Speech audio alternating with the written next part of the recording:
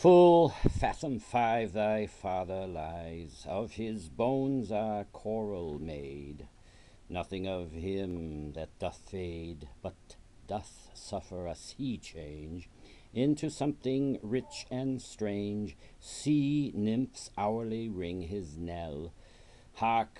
now I hear them ding dong bell.